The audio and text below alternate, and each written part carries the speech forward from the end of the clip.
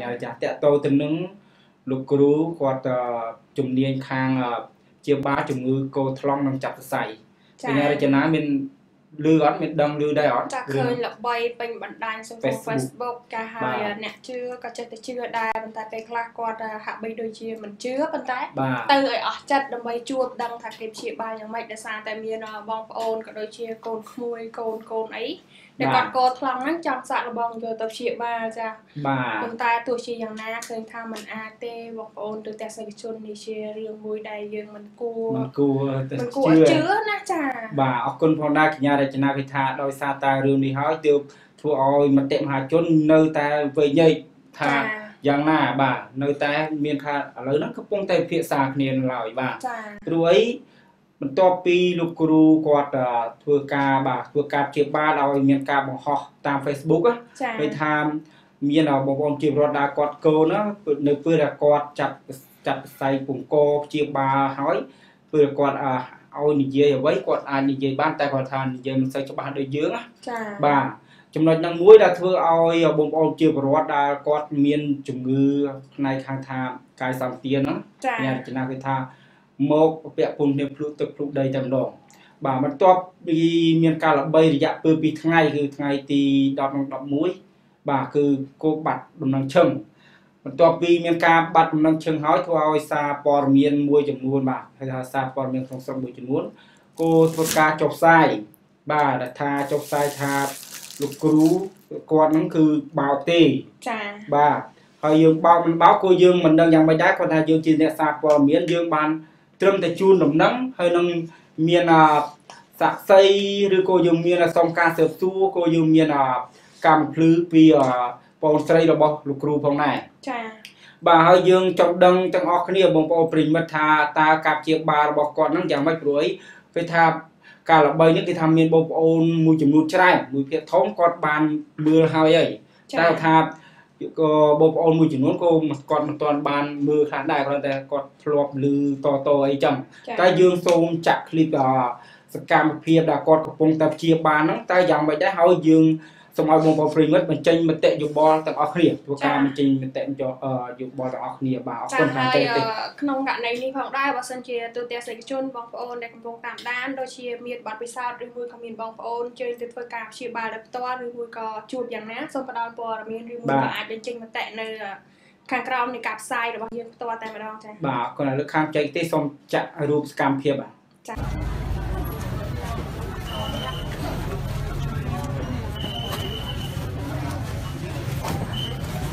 សក់អាវខោអឺ1 2 3 4 5 6 7 8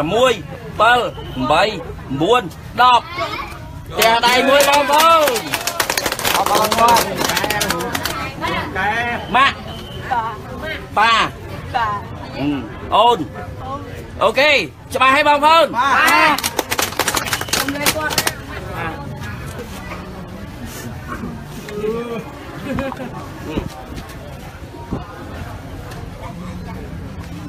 pl ែងបន្តិចណាអចាប់ផ្ដើមស្រួលណាស់អូខេអូខេអរគុណអរគុណលោកគ្រូ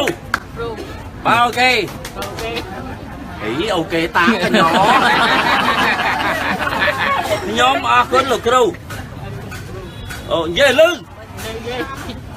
និយាយលឺនិយាយតាមទៀតអរគុណលោកគ្រូនិយាយលុយណាអានេះគេហៅអីអើអានេះវឹងនឹងវៀតណាមឯងនំប៉ែឥឡូវហើយខោខោខោអើអានេះជើងជើងអើអានេះសក់ហឹមបាត់ចែអូន ស្រឡាញ់បងបងអូខេច្បាស់ហើយបងប្អូនបាទ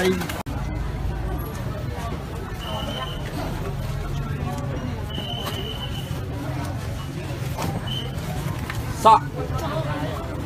អាវខោអឺ1 2 3 4 5 6 7 8 9 ផ្ទះដៃមួយបងប្អូនអរគុណបងបាទយ៉ាងមិនដែរកញ្ញារចនាបន្ទាប់ពីយើងមើលសកម្មភាពទាំងនេះ បាទតើកញ្ញារចនាយល់យ៉ាងម៉េចវិញចាប់ពិតជាមិនគួរជឿទេដែល អាចព្យាបាលនៅជំងឺកោថ្លង់ឲ្យនិយាយបានណាលោកសរុបបើសិនជាតាមនាងខ្ញុំដឹងតាំងពីកើតមកឬមួយក៏ចាស់ចាស់និយាយហាក់បីដូចជាមិនដែលមានទាត់តែសោះចាបាទតែឥឡូវគឺសកម្មភាពយើងឃើញហើយហើយគឺយើងមិនមែនឮតតគ្នាដែរគឺរូបភាពចាក់ស្ដែងហើយអ្វីដែលកាន់តែពិសេសនោះគឺបងប្អូនជាពលរដ្ឋក៏ដូចជាមហាជនគាត់នៅចោមរោមមើលជុំវិញជុំវិញគាត់ហើយអ្នកដែលទៅជាបាននេះគឺគាត់ដំងកោមែន បាទគឺនិយាយអត់ចេញទេប៉ុន្តែបន្ទាប់ពីគាត់ធ្វើការអឺជាបាលដោយច្រវាច់កឡែតច្រវាច់អីតាមវិធីសាស្ត្រជំនាញរបស់គាត់បាទជំនាញរបស់គាត់អញ្ចឹងធ្វើឲ្យបាទអ្នកដែលគាត់មានជំងឺកោហ្នឹងអាចនិយាយបានតែគាត់និយាយបានគេហៅថាងល់ងល់មិនទាន់បានច្បាស់បាទហើយបាទអរគុណដល់មីហងគាត់ថាបាទលោកគ្រូពើនេះលោកគ្រូនៅខេត្តកំពង់ចាមបាទមុនគាត់ នៅភ្នំពេញនៅមើលភ្នំពេញតែពេលនេះគាត់មើលនៅខេត្តកំពង់ចាមអូមានន័យថាឥឡូវគាត់ទៅដល់ខេត្តកំពង់ចាមហើយគាត់តែគាត់ថាឥឡូវហ្នឹងយើងបាទអរគុណដល់ដំណឹងមួយនេះដែលមីហងនៅចុងអីចុងខ្ញងបាទបានជូនដំណឹងផងដែរព្រោះអីដោយសារតែតាំងពីម្សិលមិញមកដល់ថ្ងៃនេះបាត់ដំណឹងគាត់ឈឹងហើយគុំមានវិជាប្រវត្តិគុំនៅតែទន្ទឹងរង់ចាំវត្តមានរបស់គាត់ដែរបាទ ដោយសារតែការបាត់ដំណឹងរបស់គាត់នឹងហើយបានធ្វើឲ្យមានការបាទមានពាក្យចាមរាថាគាត់បោកបានវិច្ចប្រវត្តិលុយរបស់ប្រជាពលរដ្ឋដែលមើលជំងឺហ្នឹងរត់គេចខ្លួនបាត់ចាប៉ុន្តែឥឡូវនេះខាងប្រិមិត្តទូទេសនិកជនយើងបានជម្រាបថាលោកគ្រូនៅខាងខេត្តកំពង់ចាមនៅក្នុងខណៈនេះ ហើយសុំសួរបងថាលោកគ្រូអាចព្យាបាលនៅខេត្តកំពង់ចាមបានគឺជាប្រមាណអ្នកហើយឬមួយក៏មានសកម្មភាពយ៉ាងណាតកតងជាមួយនឹងការព្យាបាលរបស់លោកគ្រូបើសិនជាបងប្អូននៅខាងខេត្តកំពង់ចាមចាទទួលដំណឹងសូមជួយជម្រាបជូនក៏ដូចជាបញ្ចេញមតិយោបល់ផងចា៎បាទអរគុណហើយគាត់នៅកំពង់ចាមចឹងគាត់ដឹងច្រើនបាទហើយបាទយើងក៏ជម្រាបដែរថាលោកគ្រូដ៏ល្បីឈ្មោះដែលអាចជាបាលជំងឺកោតថ្លង់ហ្នឹងគាត់ឈ្មោះលោកគ្រូសុខេនបាទ គឺការគាត់នៅភ្នំពេញហ្នឹងគាត់ស្នាក់នៅ សង្កាត់ច្បារអំពៅមួយខណ្ឌច្បារអំពៅហើយបាទគឺថាមួយរយៈដែលគាត់មកជាបានណាធ្វើឲ្យជាប្រវត្តិផ្អើភ្លុះទូភ្លុះដីភ្លុះហៅថាភ្លុះទឹកភ្លុះដីតែម្ដងបាទកន្លងភ្លុះទូបាទអញ្ចឹងការផ្អើមកមើលចោមរោមច្រើនហ្នឹងបានធ្វើឲ្យមានការសោកស្ដាយចំពោះបងប្អូនជាពលរដ្ឋ ជាច្រើនដែលគាត់ទៅចុងក្រោយហ្នឹងមិនបានជួបគាត់បាទដោយសារពេលគាត់ទៅហ្នឹងគឺបាត់ខ្លួនគាត់បាត់ទៅហើយព្រួយគឺថាបើតាមដំណឹងគឺថាបើតាមសារព័ត៌មានណាថាគឺគាត់បានវិច្ចប្រវិច្ចយកលុយកែបលុយទៅរត់ទៅបាត់បាទហើយក៏ដោយសារតែសារព័ត៌មានដែលមិនទាន់គ្រប់ជ្រុងជ្រោយនឹងហើយបានធ្វើឲ្យមានប្រតិកម្មពីសាច់ញាតិរបស់លោកគ្រូហើយគេថាម្សិលមិញហ្នឹង គឺប្អូនស្រីរបស់លោកគ្រូដែលគាត់បានចេញមុខគាត់អះអាងថាជាប្អូនស្រីហ្នឹងបាទគាត់បានអះអាងថាលោកគ្រូមិនបានរត់ទេបាទគឺដោយសារមូលហេតុដោយសារតែបងប្អូនប្រជាពលរដ្ឋហ្នឹងគាត់មកមើលជំងឺហ្នឹងគឺគាត់បានចាំរោមច្រើនពេកអញ្ចឹងពេលដែលគាត់ចាំរោមច្រើនក៏លោកគ្រូគាត់បានព្យាយាមដែរថាឲ្យស្ងប់ស្ងាត់ហើយឲ្យមានរបៀបរៀបរយអញ្ចឹងណាប៉ុន្តែគឺថាមិនស្ដាប់គាត់បាទកម្មស្ដាប់គាត់ធ្វើគាត់នឿយហត់ ពេកទៅហើយនិយាយថាធម្មតាពេលដែលជាបាលជំងឺគឺយើងត្រូវការភាពស្ងប់ស្ងាត់មិនចឹងណាកញ្ញារចនាមិនថាកន្លែងណាមន្ទីរពេទ្យក៏ចឹងដែរត្រូវការភាពស្ងប់ស្ងាត់ដើម្បីងាយស្រួលដល់ពេទ្យឬក៏ដោយវិជ្ជាបណ្ឌិតក្នុងការព្យាបាលអ្នកជំងឺបាទប៉ុន្តែដូចថាគាត់ហេតុតែគាត់មកពីឆ្ងាយគាត់ចង់ដឹងចង់ឃើញផងទៅឃើញដូចថាគាត់នៅតែផ្អើលឈូឈរអោចោមរោងគាត់ដែលកំពុងជាបានណាបាទអញ្ចឹងធ្វើឲ្យគេហៅថាប៉ះពាល់ដល់បរិស្ថានមានថា ពុំមានខ្យល់អុកស៊ីហ្សែនក្នុងការដកដង្ហើមអីចឹងទៅក៏ប៉ិតបើសិនជាយើងវិភាគមើលថាបងប្អូនប្រជាពលរដ្ឋក៏ជាអ្នកខុសក៏អាចថាបានថាលោកគ្រូមិនគួរខឹងក៏ថាបានលោកស្រុនឆាដោយសារតែយើងគិតមើលថាបងប្អូនប្រជាពលរដ្ឋដែលមានសាច់ញាតិគាត់ថ្លង់នោះនៅពេលដែលឃើញសកម្មភាពនៃការព្យាបាលទៅមានប្រសិទ្ធភាពយ៉ាងហ្នឹងម្នាក់ម្នាក់ប្រកាសហើយគឺសប្បាយចិត្តខ្លាំងស្រែកហូកញ្ជ្រៀវឬមួយក៏អបអរសាទរ វាជាចរិតលក្ខណៈមួយដែលនៃការដែលយើងសប្បាយចិត្តខ្លាំងដែលគ្មានការពិពណ៌នាកើតទៅណាចា៎បាទអរគុណឥឡូវយើងសូមចាក់រូបភាពមួយទៀតដែលមុននឹងលោកគ្រូគាត់ចាក់ចេញទៅ បាទតើហើយសូមឲ្យបងប្អូនជារដ្ឋបញ្ចេញទៅយោបល់ថាពើតែឃើញស្ថានភាពបែបនេះហើយតើយ៉ាងម៉េចតើគួរឲ្យលោកគ្រូចេញទៅឬគួរមិនគួរទេបាទឥឡូវខាងចែកទីសូមចាក់រូបភាពសកម្មភាពបាទ ស្ងាត់តិចស្ងាត់តិចស្ងាត់តិចស្ងាត់តិចអើយប្រត់បាត់ឡើយនិយាយទុកទោះអារម្មណ៍ឲ្យឲ្យគាត់គ្រូនេះក៏នេះបាយឈប់សិនមកអាមើលទាំងបងតែគាត់ព្យាបាលគាត់ឲ្យមកលោឡាយបងប្អូនអើយពេលលោកគ្រូព្យាបាលក៏មាត់ឲ្យគាត់មកអារម្មណ៍សក់អារម្មណ៍គាត់សក់បងប្អូនអើយខាត់ថៃក្រោយតិចទៅមើលឃើញដូចតែគ្នាទេឥឡូវខ្ញុំព្យាបាលកោថ្លើកំហុងមកពេកណា មើលមកកាត់ថ្ងៃនេះខ្ញុំសុំខ្ញុំបងបងអូនជួយលំខាត់ក្រោយគាត់បានអត់បានស្រួលបើថាអត់ទេខ្ញុំឡើងឡានទៅវិញអត់ទេគេយើងខាត់ទីវិញហើយចាត់ជាងនំហូនតិចទៅដើម្បីឲ្យគាត់ស្រួលមុនក្រោយក៏បានធ្វើទីដែរ8តែជាវវិញណាអូរត់ទៅវិញបាត់ឡើយអត់ចេះស្រាប់គ្នាផងខ្ញុំឡើងទៅដេកថាគេវិញឡើយ ហើយនិយាយហើយនិយាយជាលើកទី4ហើយអត់សហការឲ្យលោកគ្រូលោកគ្រូទៅហើយបងប្អូនគាត់អត់នេះទៅ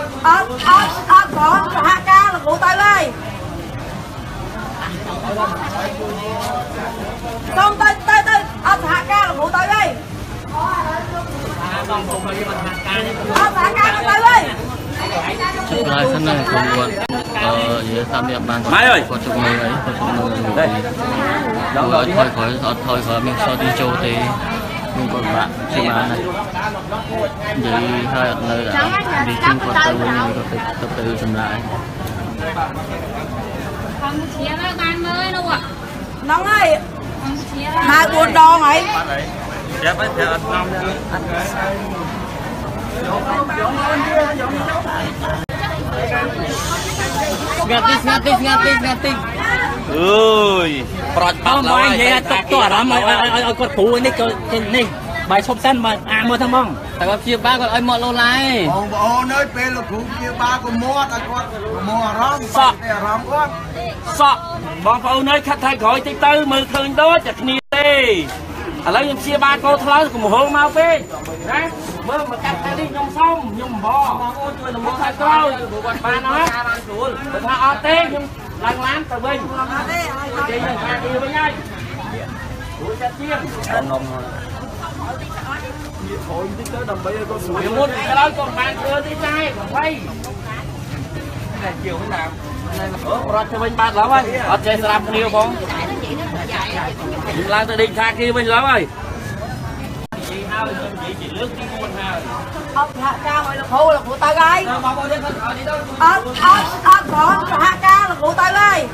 ចាបងប្អូនទូទស្សនិកជននេះគឺជាសកម្មភាពនៃការព្យាបាលឬមួយក៏ខាងក្រុមការងាររបស់លោកគ្រូក៏ព្យាយាមសម្របសម្រួលដែរកុំឲ្យមានភាពរញ៉េរញ៉ៃយើងរញ៉េរញ៉ៃឬមួយក៏ មកចិត្តគាត់ខ្លាំងពេកទៅគាត់អត់មានអារម្មណ៍ឬមួយក៏អារម្មណ៍គាត់អត់មូលទៅការព្យាបាលហាក់បីដូចជាมันមានប្រសិទ្ធភាពណាចាបាទហើយអរគុណដល់មេហងបាទគាត់ថាលោកគ្រូថ្ងៃមិញគោចង់ដែរគាត់លើកដៃសំពះអមានន័យថាថ្ងៃមិញហ្នឹងប្រហែលជាជាបាននៅកំពង់ចាមប៉ុន្តែដោយសារតែអត់មានសារព័ត៌មានណាដឹងហើយក៏ប៉ុន្តែជាប្រវត្តិគាត់ដឹងបាទគាត់នៅតែផ្អើលដោយសារយើងដឹងហើយប្រព័ន្ធសម័យ Facebook ឥឡូវគឺថា តែបរោះល្បីនៅណាគឺទូទាំងប្រទេសតែម្ដងបាទចាបាទហើយឃើញថាយ៉ាងមិនដែរយើងសូមឲ្យបងប្អូនប្រិយមិត្តគាត់ជួយមិនចេញមតិយោបល់វិញដោយសារតែរឿងដែលកន្លងបាទឡាពីម្សិលមិញហ្នឹងដោយសារតែមានសារព័ត៌មានមួយចំនួនគាត់បានចុះថាគាត់ជាគ្រូបោកទេ បាទសូមបងប្អូនកុំជឿអីបាទឥឡូវគាត់វិច្ចប្រវិច្ចយកលុយអ្នកជំងឺរត់រត់កិច្ចខ្លួនបាត់ហើយ បាទហើយប៉ុន្តែយើងយើងមិនអាចថាអ្នកណាខុសណាត្រូវទេប៉ុន្តែយើងក៏លែងមើលស្ថិរភាពជាក់ស្ដែងវិញមុននឹងគាត់ចាក់ចេញទៅ បាទនៅសកម្មភាពទាំងនេះ បាទថាតើមុននឹងគាត់ចាក់ចេញទៅគាត់បាននិយាយអ្វីខ្លះគាត់បានអង្វយអ្វីខ្លះដល់បងប្អូនវិជាបរដ្ឋបាទដែលបងប្អូនណាគាត់មកមើលជំងឺហ្នឹងចាចា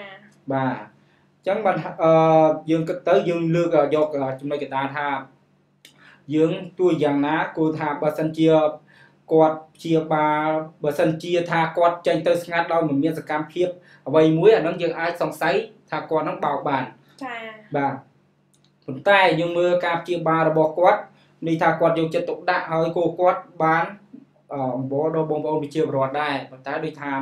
គាត់ដូចជាហាក់ដូចជាមិនស្ដាប់ដោយសារយើងគិតទៅយើងមិនអាចទទួលបងប្អូនប្រជាពលរដ្ឋ គោថាបានដែរដោយសារគាត់មកពីស្រុកឆ្ងាយស្រុកអីចឹងចឹងគាត់មិនសូវយល់ជំនាញទម្លាប់ទេហើយគាត់ឃើញគ្រូល្បីនេះគឺថាគាត់អាចជាបាជំងឺគោជំងឺផ្លែកហងបាទដូចជាទេវតាអញ្ចឹងណាបាទអស់ចា៎បាទចង់ដឹងថាគាត់ព្យាបាលយ៉ាងម៉េចបានធ្វើឲ្យមនុស្សគោអាចអាចនិយាយបានអាចនិយាយរួចអីចឹងណាបញ្ញារចនាបាទនេះហើយបានជាបញ្ហាតើថាឥឡូវហ្នឹង ដោយសារតែមានសារព័ត៌មានផ្សព្វផ្សាយខ្លាំងអញ្ចឹងទៅអញ្ចឹងបើខាងសាច់ញាតិលោកគ្រូត្រូវជាប្អូនស្រីហ្នឹងគាត់ក៏បានចេញមុខអះអាងផងដែរបាទអញ្ចឹងឥឡូវសូមមកបងប្រិមិត្តបាទស្ដាប់សូមស្ដាប់ការបំភ្លឺពីបងស្រីទាំងអស់គ្នាបាទចាបងខ្ញុំចង់បកស្រាយរឿងនេះបន្តិចចំពោះរឿងថាលោកគ្រូបានយកលុយរត់កិច្ចខ្លួនដូចពាក្យដែលគេចចាមអារាមនោះគឺមិនមែនជាការពិតទេបង តាមពិតពេលដែលគាត់ចាប់ផ្ដើមជាបាលថ្ងៃទី1គឺមនុស្សបុកមកច្រើនណាស់ហើយគាត់បានធ្វើលេខរៀងឲ្យប្រជាជនយើងចាប់លេខរៀងតាមលេខរៀងចាសូមឲ្យគាត់នឹងថាអ្នកដែលមានលេខសូមសំណុំពរឲ្យនៅកន្លែងនេះដើម្បីទទួលការព្យាបាលនិងហៅតាមលេខរៀងហើយនឹងបងប្អូនមួយចំនួនទៀតដែលអត់មានលេខរៀងសូមឲ្យគាត់អញ្ជើញទៅផ្ទះសិនចាំឲ្យគាត់ស្អែកមកទទួលយកលេខរៀងដើម្បីទទួលការព្យាបាលទៅថ្ងៃក្រោយទៀត តែពួកគាត់អត់បានស្ដាប់នៃការណែនាំរបស់លោកគ្រូទេអត់បានសហការជាមួយលោកគ្រូកាន់តែប្រមូលគ្នាមកណែទៀតណែទៀតកាន់តែច្រើនទៅច្រើនទៅចាធ្វើឲ្យអត់មានខ្យល់អុកស៊ីសែនទេដល់ពេលអ្នកខ្លះទៀតគាត់និយាយបាននិយាយភាសាទៀតសូមបងប្អូនអឺសហការជាមួយខ្ញុំហកបើសិនជាបងប្អូនចង់ឲ្យខ្ញុំព្យាបាលឲ្យបងប្អូនតទៅទៀតសូមសហការសូមជៀសខ្លះទៅអាណិតអ៊ំអ៊ំពូពូមីងមីងដែលគាត់ស្រាប់មួយចំហៀងខ្លួននៅជិះអាទិសនេះដែលគាត់ដើរមិនរួចនេះ គុំសង្កត់លើគាត់បើអ្នកទាំងអស់គ្នាឈរប្រឈៀតមកអញ្ចឹងគឺសង្កត់លើគាត់ហើយសូមបងប្អូនអភ័យទោសបើសិនជាបងប្អូននៅអត់ស្ដាប់ទៀតខ្ញុំនឹងទៅវិញខ្ញុំអត់ធ្វើឲ្យបងប្អូនទៀតទេស្រាប់តែមានបងប្អូនខ្លះគាត់នាំម្ដាយគាត់មកគាត់សម្រុកចូលមកដេកនៅកន្លែងនេះហ្មងបងឡើងពេញផ្ទះនៅកន្លែងនេះទីនេះឡើងពេញនិយាយទៅបងឃើញផ្ទះខ្ញុំស្រាប់ហើយធំប៉ុន្មានគឺផ្ទះខ្ញុំទូចណាស់គឺដាក់បានប្រហែលអ្នកគឺគាត់នាំគ្នាចូលមកឡើងណែនហើយលោកគ្រូបាននៅខាងមុខនោះ នាំគ្នាដាក់ឡើងណែនពេញផ្ទះហ្នឹងហ្មងហើយខាងមុខទៀតនាំគ្នាបុកមកលោកគ្រូបានព្យាបាលមនុស្សកោត្រង់ចំនួន4នាក់ម្សិលមិញអាចឲ្យគេនិយាយបានទាំងអស់ទាំង4នាក់ទាំងស្ដាប់បានទាំងនិយាយបានទាំងអស់ម្សិលមិញគ្រាន់តែប៉ុណ្្នឹងគាត់ចាប់ដើមបុកមកសម្រុកមកទាំងអស់ហ្មងលោកគ្រូថាអ្នកទាំងអស់គ្នានិយាយអត់ស្ដាប់ទេខ្ញុំហត់ចង់ងាប់ហើយខ្ញុំព្យាបាលឲ្យអ្នកទាំងអស់គ្នាដោយមិនគិតប្រាក់ហើយអ្នកទាំងអស់គ្នាអត់ស្ដាប់ខ្ញុំហើយអត់សហការជាមួយខ្ញុំទៀតអញ្ចឹងសូមទោសអ្នកទាំងអស់គ្នាខ្ញុំមានតែយកអវ៉ាន់ខ្ញុំចេញពីកន្លែងហ្នឹងទេបាទព្រោះឯអ្នកទាំងអស់គ្នាអត់សហការជាមួយខ្ញុំ ហើយលោកគ្រូក៏បានដើរចេញទៅដើរចេញទៅបាត់ទាំងមកអត់មានការដូចពាក្យចចាមរាមថាលោកគ្រូបានយកលុយនឹងយកទៅទេហើយបងខ្ញុំសូមបញ្ជាក់ជាមួយបងភាសាទៀតនេះបងអាសនៈរបស់លោកគ្រូគាត់ព្យាបាលហេតុអីគាត់ចេះព្យាបាលមនុស្សកោថ្លង់អាចនិយាយបានពីព្រោះអីគាត់មានបារមីកាន់បើសិនជាអត់មានបារមីកាន់គឺពិភពលោកនេះគ្មានអ្នកណាអាចព្យាបាលជំងឺកថ្លង់ព្យាបាលទេនេះបងមើលហូបបច្ច័យគាត់បងប្អូនខ្មែរយើងប្រជាពលរដ្ឋយើង គាត់មានលុយចំណូលប្រមាណគាត់មានលទ្ធភាពប្រមាណដែលអាចមើលជំងឺកថ្លង់ជានឹងអាចអាចទៀមទាគាត់បានអត់បងគឺអញ្ចឹងលោកគ្រូឃើញអាណិតណាស់គាត់ក៏អាចដាក់តាមសទ្ធាបើសិនជាបងប្អូនអត់មានបងប្អូនដាក់តាមមានអត់មានសុយទៅវិញខ្ញុំជូនបងប្អូនសុយទៅវិញនេះបងឃើញទេបានតែប៉ុណ្ណាក្នុងមួយថ្ងៃឬក៏ម្នាក់10000 10000គាត់អន់ណាបងអត់មានពីសច្ចាមរានថាលោកគ្រូយកលុយអីរត់ទៅតាមដូចគេនិយាយនោះទេ ចាបងលោកគ្រូគាត់ថាគាត់នឹងអាចមកមកជាបាលបន្តទៀតអឺហ្នឹងហើយសូមឲ្យប្រជាពលរដ្ឋសហការជាមួយគាត់ដែរហើយក៏សូមឲ្យទៅថាខាង អ្នកព័ត៌មានមួយចំនួនឥឡូវហ្នឹងគាត់កំពុងតែចង់រកយុត្តិធម៌ឲ្យខ្លួនឯងវិញពីព្រោះមានព័ត៌មានមួយចំនួនបានបង្ខូចគេឈ្មោះរបស់គាត់មិនមិនត្រឹមតែនៅក្នុងស្រុកទេសូម្បីតែអ្នកនៅក្រៅប្រទេសក៏គេបានដឹងដែរម្សិលមិញគេខាងនៅអូស្ត្រាលីនៅខាងអាមេរិកបានខំមកខ្ញុំពីរឿងបញ្ហាមួយហ្នឹងបើសិនជាអ្នកដែលនៅនេះ គាត់នៅក្នុងប្រទេសខ្មែរយើងនេះបងប្អូនបានមកមើលគាត់ដឹងថាលោកគ្រូកុហកអត់គាត់ដឹងតែបើអ្នកនៅស្រុកក្រៅគេអត់ដឹងទេគេមិនបានមកឃើញផ្ទាល់គេថាលោកគ្រូនឹងគាត់ជាបោកនេះបោកមែនហើយបាទកញ្ញារចនាបន្ទាប់ពីយើងស្ដាប់នៅ កម្មភ្លឺរបស់បងស្រីដែលទៅជាប្អូនរបស់លោកគ្រូតើយល់យ៉ាងណាដែរញ៉ាចនាចាឃើញថានេះជាការបកស្រាយរបស់បងស្រីយើងបកស្រាយពីស្ថានភាពពិតនៅក្នុងការដែលលោកគ្រូចាក់ចេញទៅឬមួយក៏បច្ច័យផ្សេងផ្សេងដោយសារបងស្រីក៏បានបកស្រាយដែរថាការព្យាបាលជំងឺគឺมันមានទៀមទីឲ្យបងប្រាក់ឬមួយក៏បងថវិកាផ្សេងផ្សេងទេចាស់ចូលទៅតាមសទ្ធាដោយសារតែ ពេលខ្លះទៅយើងអាចជាសទ្ធាទឹកចិត្តរបស់ទៅតាមជាប្រវត្តិដែលគាត់មានខ្លួនឯងផ្ទាល់ស្រីក៏បន្តបន្ថែមទៀតថាបើសិនជាអត់មានសហយទៅផ្ទះលោកគ្រូនៅឲ្យសហយរបស់ទៅទៅកាន់បងប្អូនទៀតទៅវិញណាហើយបើអញ្ចឹងសារព័ត៌មានមួយចំនួនហាក់បីដូចជាបំភ្លើបំភ្លៃលើសហួសប្រមាណហើយដែលថាលោកគ្រូគាត់យកលុយនឹងខ្ចប់រត់សួរថាមានបងប្អូនប្រជាពលរដ្ឋប្រមាណអ្នកដែលបានឲ្យគាត់នឹងលុយនឹងប្រមាណទៅចា បាទអរគុណអឺហៃណៃគាត់ប្រហែលជាទំចូលមកថាមានរឿងអីនឹងបងបាទអញ្ចឹងយើងគូបបាក់ដែលរាប់ថាជាថ្មីតែយើងសូមឲ្យខាងចែកទេសចាក់ចាក់ពីដើមតិចចាក់នៅសកម្មភាពបាទមិនតិចអាសកម្មភាពគាត់ពេលគាត់ជាបានហ្នឹងមានបងប្អូនជារដ្ឋគ្រប់ត្រូលហ្នឹងណាអញ្ចឹងហើយគូសជាស្រ័យប្រិមិត្តដែលគាត់បានមើលហើយតែយើងសូមចាក់បន្តិចឡើងវិញបន្តិចទេបាទចាំតិចទេម៉ាក់ប៉ាបា អូនអូខេច្បាស់ហើយបងប្អូនបាទសូមលេគាត់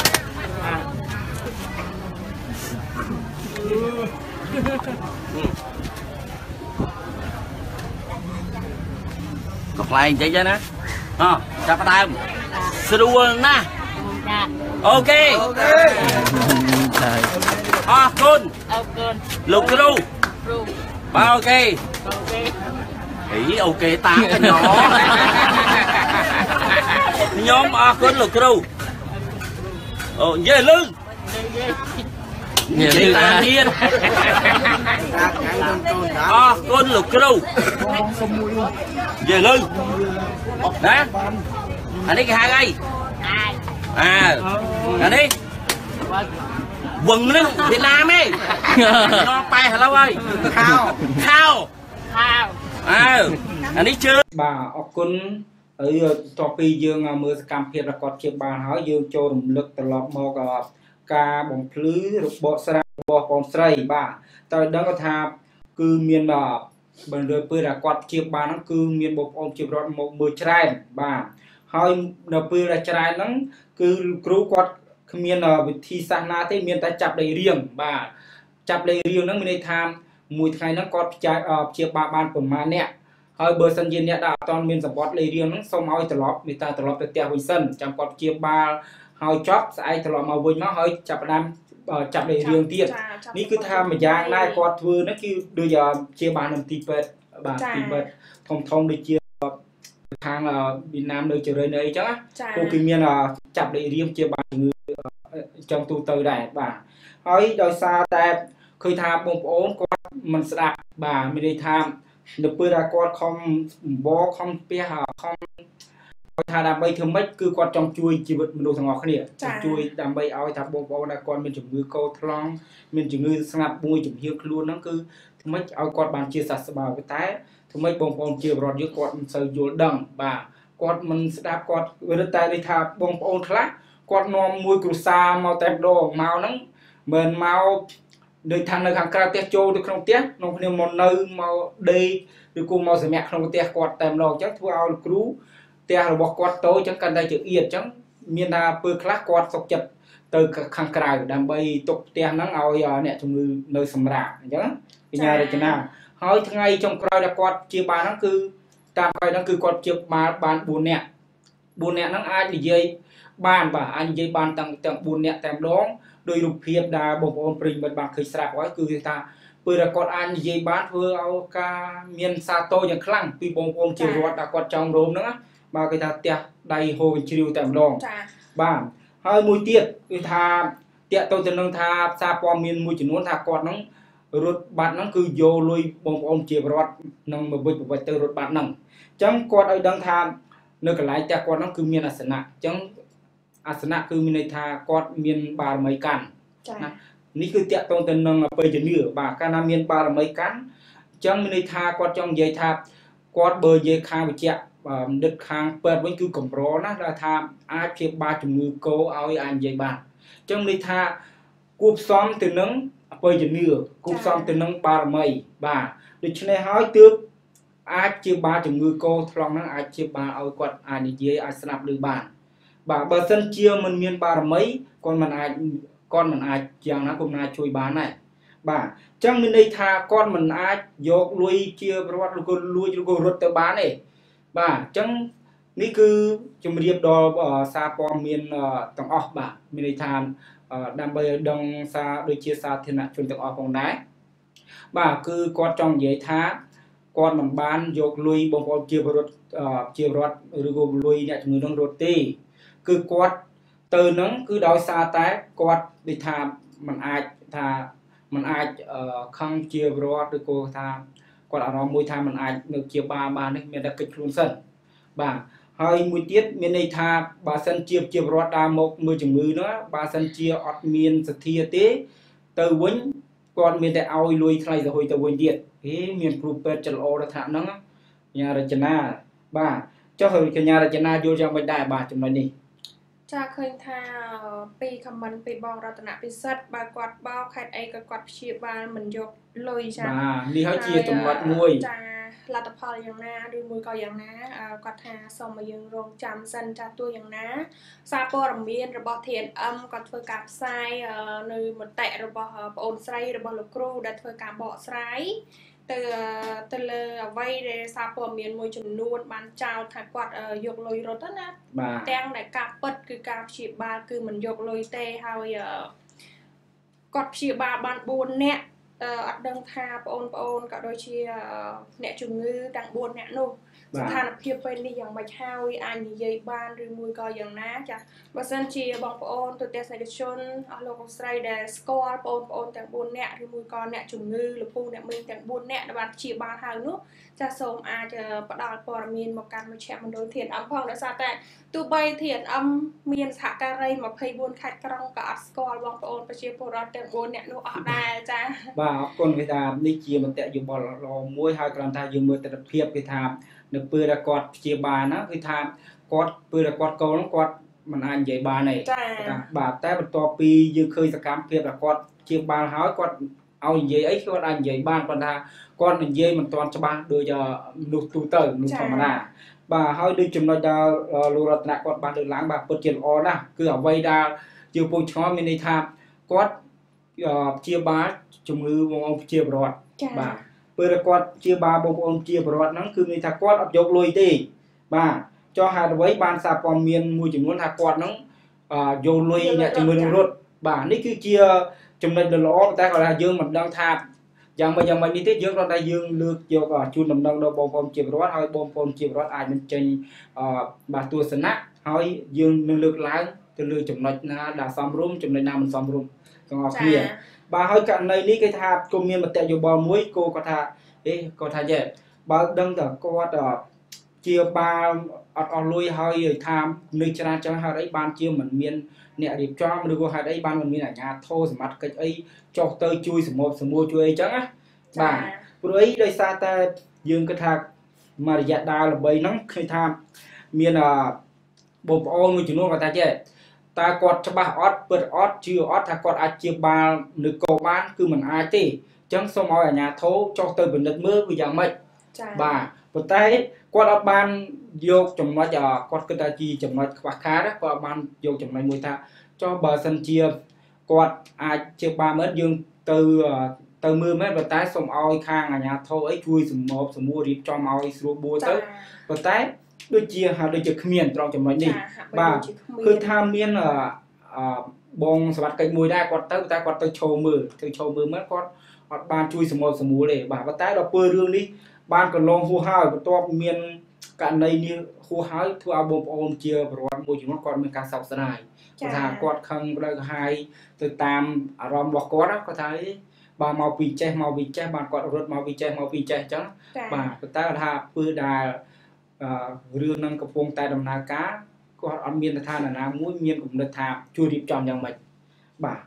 នេះចា comment ពីបងមិញហោចាអត់យកលុយទេបងពិធីករចាស់ច្បាស់ការពីខេត្តកំពង់ចាមចាឃើញថាលោកគ្រូព្យាបាលអត់យកលុយទេអឺបងមីហសូមអនុញ្ញាតផ្ដល់ព័ត៌មាន